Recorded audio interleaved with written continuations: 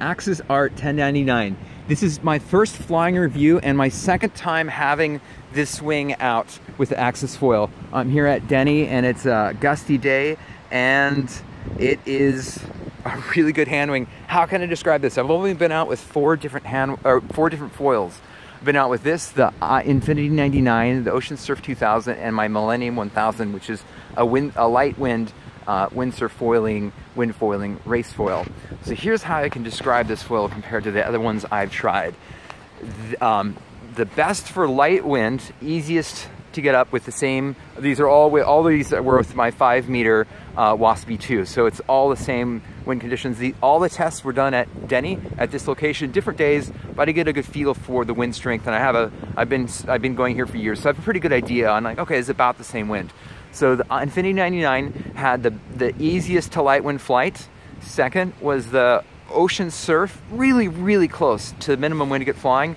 The Axis Art 1099 is actually really, really close to those two. It's like a first, second, third, really, really close as far as how much wind I need to get flying. It's a little bit different technique because this is so much more efficient through the water compared to the Ocean Surf 2000 and the Infinity 99 but um, so you need a little bit more board speed, which this board, the five foot eight starboard wing board, 88 liters, does a really good job shedding the water and getting up to board speed without it being uh, a big issue. So, um, so this is third, but it's super close. And then fourth is the Millennium 1000. That is much lower than this because this is just as efficient uh, through the water as my Millennium 1000, but there's so much more lift and so much easier to get going flying. The other variable I think is interesting is, well, what about when you're flying? I noticed with wing surf foiling, it's a, it's a good effort to get flying compared to windsurf foiling. With windsurf foiling, it, for me at least, it wasn't as big of a deal to get flying and stay flying because sails are in generally quite efficient. But what about, so when you're windsurf foiling, or sorry, when you're wing foiling and you're, you're flying, it's an important variable for me, especially because I go out in gusty conditions. You can see the lines right there. I usually go in small or medium-sized lakes, so gusty conditions. So how is it to stay flying? And this is by far number one. Once I'm flying, it just stays there. There is an abrupt shutdown when you don't have enough wind, so it's a little, and it just shuts down abruptly, but it's very easy to stay above that board speed. A little bit of foot pump foiling or a little bit of hand wing pumping, and you get stay, you stay up really easily. So once you're flying and you maintain that minimum board speed, I'm not sure exactly what it is, or minimum foil board speed, it is so little effort just to cruise and to stay on flight. Um, the second place is my um, my Millennium 1000. That was also really good. The difference between this and the Millennium 1000 is right around on the 12 miles an hour to the minimum cutoff for flight, which is 9 miles per hour. This also has a much lower stall speed than my Millennium 1000. Is 12 miles an hour under with my Millennium 1000, it didn't seem to have any power hold. I had to be so cautious with it because any little blip could make it foil out, misbehave, or lose power. So when I was going that slower board speed, it didn't um, it didn't really stay flying as well as this. Where this, it seems really responsive. I have a lot of maneuverability. I can go that same 12 to 9 to 8 miles an hour and I can just cruise around and there's no fear of coming off flight. I have lots of mobility control. I'm not sure if the minimum flight to this is six or seven or whatever it is, but when you get to that minimum stall speed just above it, it still has a lot of usability and a lot of controllability, which is really great. So, and the next up is the Ocean Surf 2000. It's a big front wing for my size of 162 pounds, uh, 74 kilograms, I think, maybe. Um, but uh, with that front wing, with it being so so such surface area, it's easy to get to flight and it's very maneuverable. It's a lot of fun, um, but it's um, because it is larger, there is more drag, and I do need more wind to get flying. And of course, the Infinity 99 is the the last in the place, and it's it's last by a lot. It needs a lot of effort and power to get flying. Once you get flying with that, with the I-99, the moment you don't have enough wind, there's so much drag, you just come off light. So it's it's kind of the minimum wind to get flying is important for a front wing or a foil setup, but also it's important to I'll change angles. Um, it's important to stay flying because with gusty conditions or anything else like that. So another factor I think is important is maneuverability. One thing I've noticed with wing foiling so far is you get the hoverboard sensation, that just the complete maneuverable feel that you have that isn't quite like windsurfing and isn't quite like windsurf foiling or wind foiling, to me at least. So this is by far the best for maneuverability as far as the front wings I've tried. It is so maneuverable and I can just flick it and it just flicks over it's a really cool sensation. Number two is the Ocean Surf 2000. It's a really good mobile front wing also. A lot of fun on that wing. And the Millennium 1000, actually, it's more of a, a smooth, it's you need the speed, but it is actually fairly maneuverable. I can make it go around nicely. And for me, the Infinity 99, it didn't have much maneuverability. It was very hard to maneuver, and any little waves coming around, it kind of hiked it over, and it is a challenge to use. So I think for a heavier rider, it could be amazing or if you just want to get flying in the slow stall speeds. But I think there's a lot of variables important to wing foiling, and one of them is how easy is it to stay flying. Uh, let's see, what else about this? I like the 82 centimeter mast. It's really good. Um, it doesn't seem too short for me. And also, you know, the shorter the mast, the more stiffness. The closer the foil is to the water, it's easier to get flight. Less drag, of course, but I think also there's something to do with density difference. The closer you are to water, the ratio is different. So the difference between one centimeter depth and four centimeters of depth, you know, the distance of a foil, it's a much bigger pressure difference than it is from, you know, um, 100 centimeters depth and 140 centimeters, 104 centimeters of depth.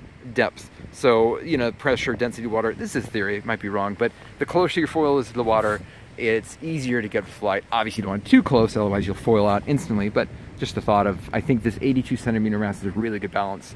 I did, I was able to get the tip out of for a little bit and it didn't seem to misbehave. Right now, so far, I'm just on zigzags and this is fantastic for zigzags. I not ready for flying jibes and yeah, also I have the short black fuselage at 103, uh, 703 millimeters or 70.3 millimeters. I have the the 400 um, progressive. Yeah, there we go. Uh, progressive 400 rear wing. There we go. And I really like these. When I first had it out, the first today is the first real flight I got on. And it's like, oh wow, I'm glad I didn't get shorter. But I quickly found the comfort level of it and the this is the short, the ultra short and the 375 progressive rear is the popular go-to. Um, and I did get to push the speed on this tail a little bit. I got just over 18.5 miles per hour on my Doppler GPS watch. So I, that's about as fast as I feel comfortable going for probably a few sessions. And I was able to push it on a, on a flatter stretch with a little bit of a gust. So get a little faster than this. I would definitely like to break 20, but right now I'm just gonna practice on zigzags and feel. And uh, yeah, uh, let me know. I'm sure there's a lot I know about this already. I've only been on this one real session and two sessions. Uh, let's see, slogging on this. I had the other session was a nice long, over two hour session for slogging. And uh, this foil is not heavy. It also isn't a large surface area. So other foils I've had with slogging with my 88 liter board, which for my weight is not that buoyant for slogging sessions, is it didn't have the, this doesn't really have that much of a keel effect to hold it centered, which my Millennium 1000 had a great keel effect because it's a little hard, heavier and longer.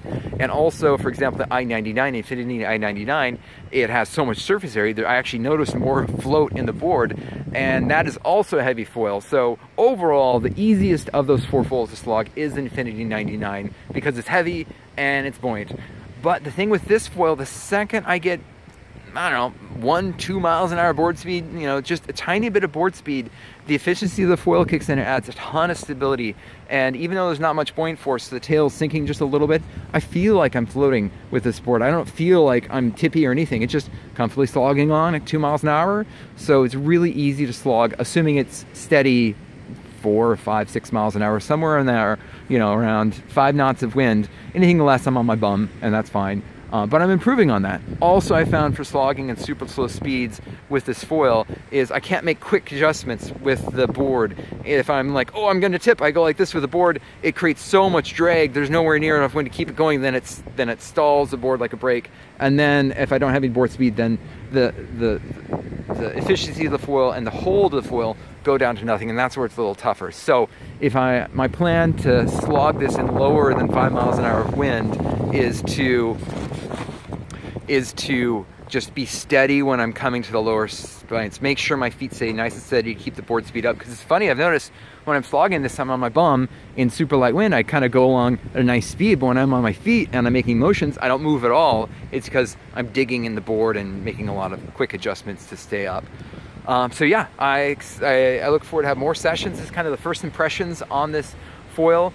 I wasn't sure if this is going to be my largest front wing, and after having more success on getting up to flight with the 5 meter, and knowing how little resistance there is once it's flying, it's so amazing just to cruise at the 12 miles an hour. I don't really need to go faster, and it has so much hold. I'm pretty sure, as of right now, I want this to be my largest front wing. I don't want to get bigger. And if I'm going to go out, like right now, it's, there's some good wind right now. Yeah, we got some good wind. It's nice. Um, but if I want to go out in lighter wind, Get a bigger front wham wing. Um, thinking about the slick six to five, six points five, and also thinking about the Strike CWC six, seven, and even eight.